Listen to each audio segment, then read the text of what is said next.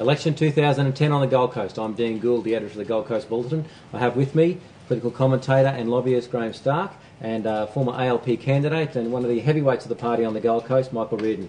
Uh, thank you for coming along, gentlemen. Thank you. The uh, situation for the Labor Party is not good at the moment, Michael. No, Uh, it looks it Mm. looks uh, like a nine percent swing uh, in Queensland against the party, and locally we uh, have Forde in a lot of trouble. Brett Raguse, the uh, the first team member there, he won uh, under the the. Rudd coming to government. Uh, will he hold on to that seat?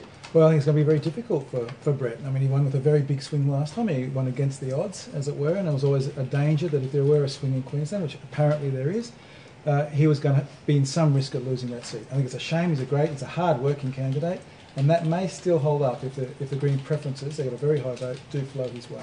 The Green vote looks like being about 14%, but what we're seeing is uh, perhaps a donkey vote where the, the Greens are at the top of the ballot paper, the uh, Liberal uh, LNP's on number two, and there's actually preferences flowing from the Greens to the LNP. Mm, And that could happen when you've got a protest vote. You know, when, when people are serious about parking their vote with the Greens and aren't too concerned about where the second preferences may go, a donkey vote may come into play. That will hurt Brett.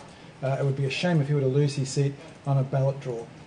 Graham, is it a vote for the Greens? Does it mean that uh, Australians are suddenly um, uh, more environmentally friendly, or is this a, a political um, action that has nothing to do with the actual policies of the Green Party? I personally, personally hope it's not a vote for the Greens. I think it's Labor people upset about uh, changes in policy on climate change, changes in policy around asylum seekers, parking their vote with the, the party to their left.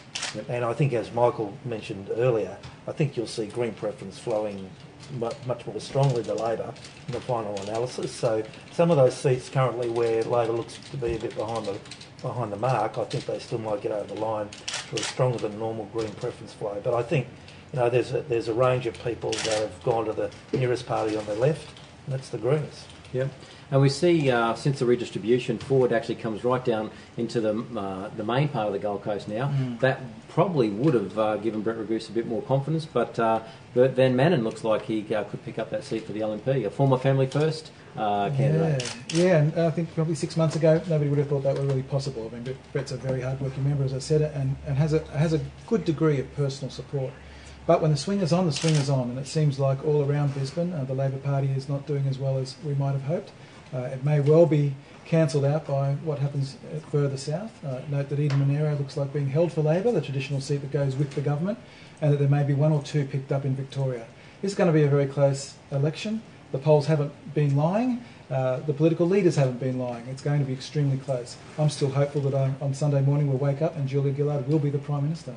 Lastly, at the other end of the Gold Coast, uh, we have the seat of Richmond in northern New South Wales. Justine Elliott, the Labor Minister for Ageing, looks like holding on to that one despite a swing. Mm. Graham, is, uh, does she, uh, does that, that surprise you at all?